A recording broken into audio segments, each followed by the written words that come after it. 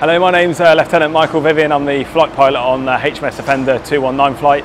Uh, tomorrow for the Martlet Far-In, I'll be the pilot flying the aircraft. I'll be working with the uh, flight commander there to make sure we're in the best position for a missile release, putting the aircraft into what we call pre-launch constraints and ultimately uh, pressing the button to release the missile. Um, at that point, it will then uh, be handed over to the observer and flight commander to guide the missile down to the target. Uh, as the missile leaves the canister, it'll be travelling up to approximately one and a half times speed of sound, and then going uh, down range towards the target.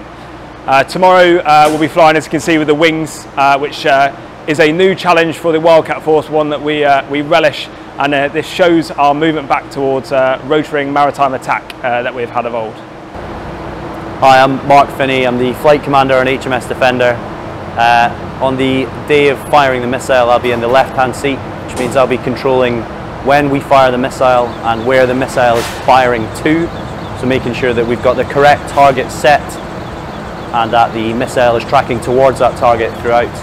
Uh, with four Martlet, we'd expect it to track targets from anything up to around about four nautical miles away and we can track in towards it into about quarter of a mile uh, for our target set.